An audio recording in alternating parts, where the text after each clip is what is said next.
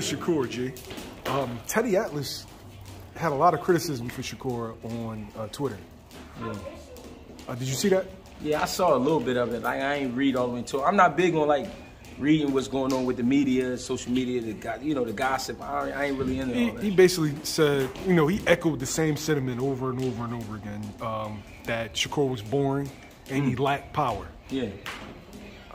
Do you think that's legitimate criticism? Shakur's response was, you know, he that he always praises Vasyl Lomachenko. Yeah.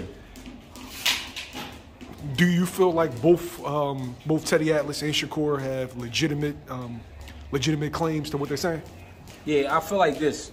Uh, Teddy Atlas is, is an older guy who comes from a totally different era. Back then, in those times, it was about knocking guys out and beating them up. You know what I mean? Now it's about being smart. So I think when we talk about Teddy Atlas, we be talking about the 70s and the 80s and the early 90s. Now that we're all the way here in 2022, guys are trying to be smart so they can get to the next check. You know what I mean? So, and at the same time, everybody is not a knockout artist. Everybody isn't a big finisher. So I mean, it, there's some there's some credible shit there, but then there's some like nonsense at the same time. But that's why we, you know, I mean, we are who we are. He he he's just a man making a, you know, I mean, giving his opinion. That's all.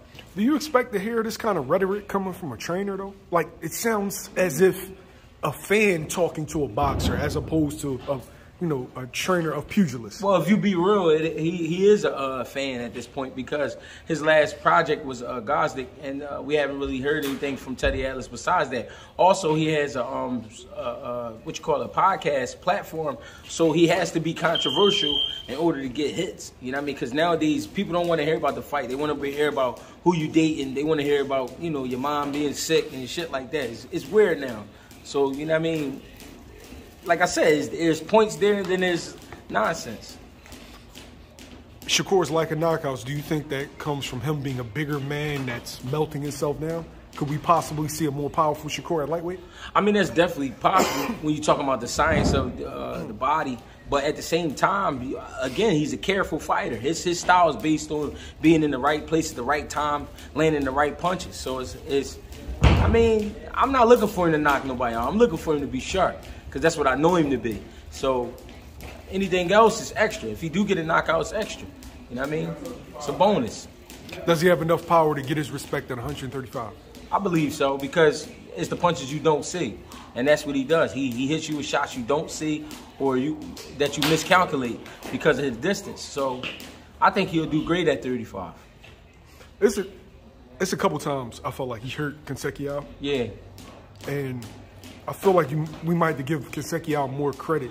He's a gold medalist. He knows how to survive. Yeah. And he, I felt like he survived in there. Yeah. As opposed to, there's some things that Shakur could have did, but as opposed to completely knocking Shakur's performance, I really didn't agree with that. So that's all right. You just said the key word, survive. So if if I'm focused on beating you up and you're mainly focused on surviving, most of the time it's going to be hard to knock you out because you focus on surviving. When you see guys trade shots with guys and get caught and get knocked out, it's because they was trying to trade with the other fighter and they end up getting caught. So if I'm focusing on surviving, you know what I mean? I'm going to run. I'm going to wrap you up. I'm going to push you. You know what I mean? I'm going to do whatever I got to do to not get knocked out. You know what I mean? So that was the key word, survive. He's trying to survive in there. So when the guy's focusing on that, he's not going to just let you knock him out. Especially, especially when he's in world-class shape. Should should Shakur come under fire for his response, or should Teddy come under fire for his observation? I mean, Teddy should be Teddy, and Shakur should be should be Shakur. With, without Teddy, you don't have guys like Shakur. Without guys like Shakur, you don't have Teddy. The reason being, this is this is why we talking about it. Here's another man talking about his opinion, and then you got another man who just got to keep going in there and proving himself. When you when you have two guys like that, Teddy's actually good for Shakur because he gonna have, make him up his game. Not because he said it, but but because Shakur might have said, you know what, I did my thing, and then you got another guy like, no, but you could have did more, you could have did better, mm-hmm. and then you're like, all right, I got you. I'm, I'm, the next guy gonna pay for that. You know what I mean? So you need these type of relationships in anything you do. You need the negative and the positive. Even though what he said is not negative because he's just being a critic. That's just what critics are. Can Teddy be guilty of picking and choosing? Yeah, he could, because a lot of people are. You got a lot of Errol Spence fans out here who don't know shit, but they love Errol Spence just because what he do. You got a lot of Terence Crawford's fans out here that love him, don't know shit about what he doing, but they love what he do. And they just talking. That's just how it go.